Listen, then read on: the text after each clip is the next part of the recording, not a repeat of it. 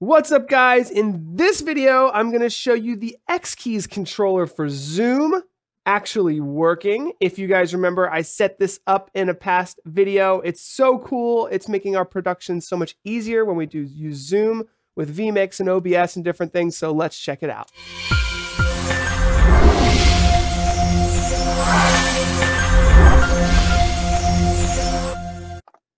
All right, so you guys may remember this video where I set up my standard X Keys 24 for Zoom.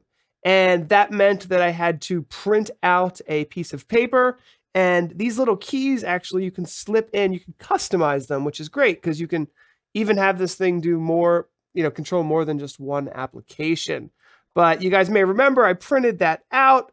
I cut mm. out all the little pieces and it was a lot of fun. And now in this video, I'm going to show you how it works with Zoom. Take people wanted to see a little bit more detail about how it all works. So I've got it right here, and you can see it's backlit, so it's got some uh, kind of lighting to it if you're in a dark scenario. And you can start Zoom right away by clicking the start button, which is nice and handy. Again, this is these all of these keys work directly with Zoom no matter what window you're in. So that that makes life uh, pretty easy. And let's go ahead and show this off. So first of all, here's the website. It's $150. It's out of stock, meaning right now, if you want one, you need to buy an X Keys controller, and then you need to uh, get the um, print out and print it out and make it yourself. So once you've done that, uh, there's some instructions here to go through. You download, obviously, Zoom. You uh, use the X Keys Zoom loader. This is so easy to use. Essentially, you take this device, plug it into your computer, and you choose whether you are a Zoom participant or a Zoom host a Mac participant or a Mac host. And then you just click that load into the keys button and it is all loaded and ready to go. Now, the next thing to do is you go into your Zoom settings here and you look at the keyboard shortcuts. And inside the keyboard shortcuts here, you have the ability to enable all of these great shortcuts inside of Zoom. And this is what we had to do to make sure that they were all enabled for the X keys to work. So not all of them were showing up for me, and I'm not sure why, because I really want to be able to show, uh, remove and hide the meeting controls uh, in Zoom, the control bar. So I hope I'll be able to do that.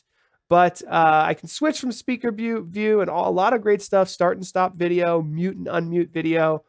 And as you guys know, I imagine here at the Stream Geeks, we host a lot of live streams. And it's important for us to be able to make our production lives easy. So when I'm sitting here, you know, right behind the production desk, although I'm not here a lot of times, a lot of times Michael is here, I can do this. But let me let me do a live demo here so you could see the X keys right here and you could see Zoom right here. So for example, if I hit the invite participants, this little thing pops up here, popped up on my other screen. Um, if I would like to mute all, boom, I hit the mute all button. Uh, if I would like to leave the meeting, see that little leave meeting thing pops up there. Uh, if I would like to switch from gallery view to speaker view, that's something that's really important, that quick and easy I like to be able to do. Uh, let's see, muting my own mic. You can see there I'm muting my own mic. Uh, full screen, non-full screen. So simple things to get things started. Start video, turn off video. In fact, that's it's easier to see when you're in gallery view. Um, so, and then push to talk. It's pretty good. That's nice to have. You see that little temporarily unmuted button. Um, volume up and down, I like. That is showing up actually, if I show you this, that is showing up over on my other monitor because, let's see if I'll show you this. That volume button is showing up over here just because I think this is monitor one. So some things pop up on monitor one. Something, most things obviously are on this monitor over here, which is where Zoom actually is. I could start recording.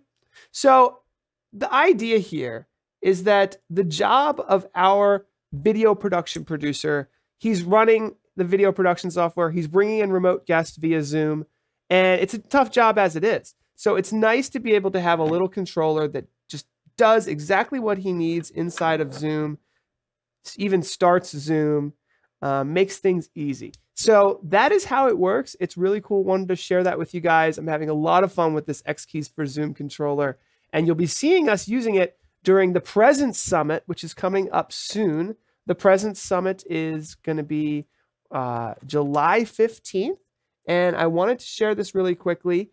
Um, but you can learn behind the scenes how we're setting up this virtual event, which is so important, I think, for people to get the most out of this the Presence Summit is a full day of online communication professional development. And if you're interested in how it's all getting set up behind the scenes, I think you can get a lot more out of the event because you'll see how we're live streaming, how we're using Zoom, how we're leveraging social media, how we're doing our interactive learning, and the different presentation tracks. So check this out because it goes into our behind the scenes look at the studio and how we're using this X Keys for Zoom controller to make the life of a producer who's hosting a virtual event easier. So I hope you guys enjoyed that. Remember, don't forget to subscribe. You don't become a video production expert overnight, and we're here to help you guys. So let me know what you think about this cool Zoom controller for X Keys. I'll talk to you guys soon. Take care. Bye.